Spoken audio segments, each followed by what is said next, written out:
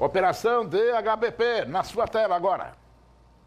Policiais do DHPP nesta quarta-feira fizeram uma mega operação quando tiraram de circulação três elementos, elementos frios, calculistas, matadores, que graças a Deus já estão presos graças à ação dos policiais do DHPP. A delegada responsável por esta operação, a doutora Tereza Simoni, conta pra gente como tudo aconteceu, como é que foi?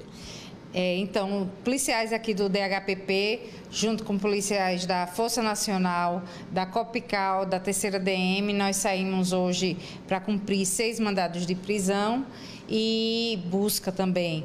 É, sendo que prendemos, conseguimos efetuar três prisões.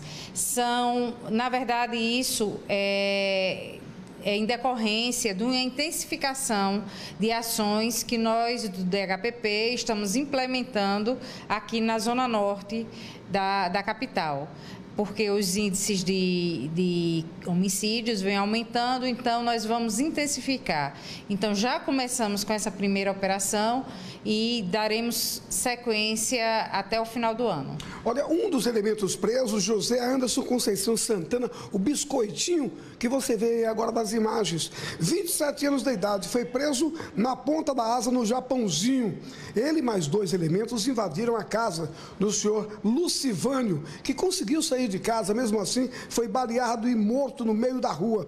Um dos comparsas era menor de idade, o outro, Walter Santos Santana Júnior, o Júnior Walter, que foi morto em confronto com a polícia. Daí se vê pelo é, o currículo, as amizades desde que foi preso, a turma peso pesado. Exatamente. Inclusive, eles faziam parte de uma é, organização aí numa quadrilha que muitos já estão ou mortos ou presos.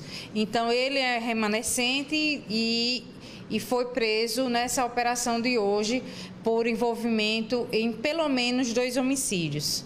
Olha, o outro você vê também na foto, José Wellington dos Santos Júnior, o João da Mata. Ele matou Fernando Pinheiro Ferreira Santos em março, na Avenida Euclides Figueiredo. Foi alvejado na presença dos três filhos menores de idade. Né? E ainda, caída no chão, a vítima é, revelou a identidade dos autores para a companheira. Motivação, tráfico de drogas, outro elemento também periculoso, doutora. Exatamente. Todos esses é, homicidas que nós efetuamos a prisão têm alguma coisa a ver com o tráfico de droga. A motivação gira em torno do tráfico de drogas, ou por disputa de pontos, ou por disputa territorial de gangues rivais.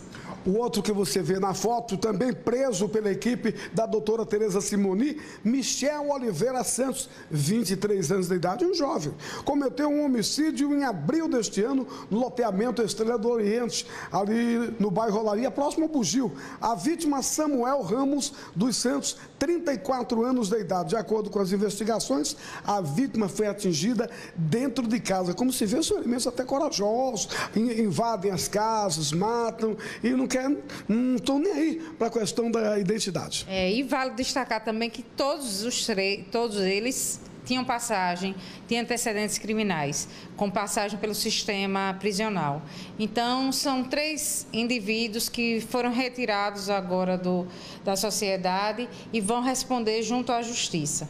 Olha, Gilmar, vale destacar um ponto positivíssimo aqui do Departamento de Homicídio e Proteção à Pessoa. Este ano, estamos em 14 de novembro e já são mais de 200 prisões do DHPP. Trabalhou muito, hein, doutora? A nossa equipe aqui está se dedicando e realmente foram mais de 200 prisões, isso de prisões cumpridas pelos policiais aqui do DHPP é, fora as outras prisões cumpridas por outras equipes, cujos mandados é, foram representados, cujos os pedidos de prisões foram feitos pelos delegados aqui do DHPP. Então, é, esse número ainda é muito maior e nós ainda não terminamos o ano e vamos continuar nessa pegada de representar e efetuar a prisão e também pedir busca e apreensão das armas. Isso é muito importante. E ainda gostaria de aproveitar a oportunidade e a audiência do programa para pedir à população, eu sempre peço a colaboração da população ligando para o Disque Denúncia 181, porque com, com a colaboração da população nós já conseguimos efetuar muitas prisões e elucidar muitos casos. Não há crime perfeito para o pessoal do DHPP. Nós corremos atrás e estamos nessa busca de baixar os índices de, de dos crimes que estão ocorrendo aqui em Aracaju e na grande na área metropolitana. Muito obrigado, parabéns, hein? Obrigada Espanha. Se não quer que a notícia seja divulgada, não deixe que o fato aconteça. Douglas Magalhães aqui do DHPP para o Cidade Alerta Sergipe.